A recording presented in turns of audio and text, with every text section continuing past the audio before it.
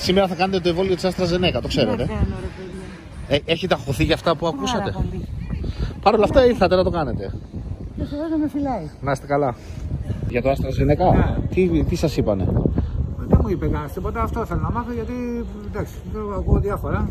Σήμερα- Είδατε αυτό που έγινε στις ειδήσεις με τα... Με τα... Σήμερα δεν είδα, είσαι χθε μέχρι χθε. Και ανησυχήσατε και ήρθατε να ρωτήσετε. Ναι.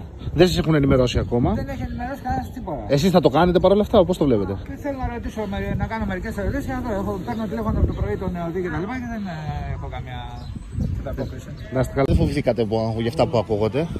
Από πόσο καιρό είχατε κλείσει το, το ραντεβού σας; Δεν ξέρω. Έχει τώρα πάνω μου. Και ήρθατε σήμερα κάνατε την πρώτη δόση; Ναι, ναι, ναι. Σας ενημέρωσαν ότι κάνατε τη AstraZeneca. Ναι, φυσικά το ξέρω. Δεν είχατε κάποιο πρόβλημα, ούτε αγχωθήκατε με αυτά που ακούγονται.